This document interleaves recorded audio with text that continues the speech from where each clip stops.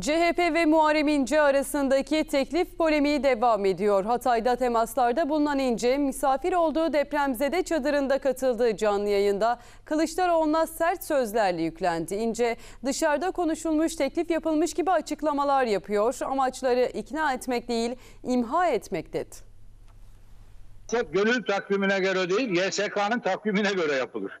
YSK'nın takvimine göre pek çok şey bitmişti zaten.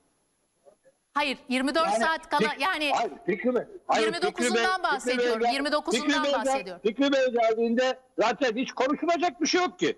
Yani oy pusulaları çekilmiş falan dedim yani e, Fikri Bey'e ben dedim ki yani konuşulacak bir şey yok. Hiç.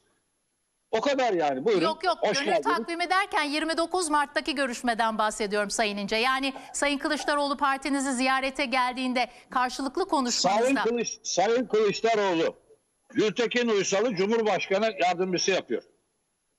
Ali Babacan'ı geçmişte Yüce Divan'a gönderecekti. Şimdi Cumhurbaşkanı yardımcısı yapıyor.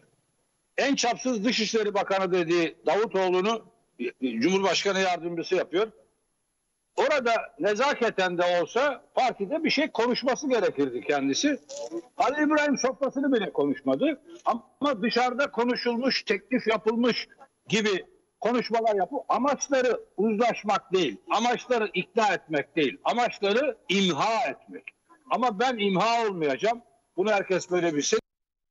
Daha fazla video izlemek için kanalımıza abone olabilir, ilk izleyen olmak isterseniz bildirimleri açabilirsiniz.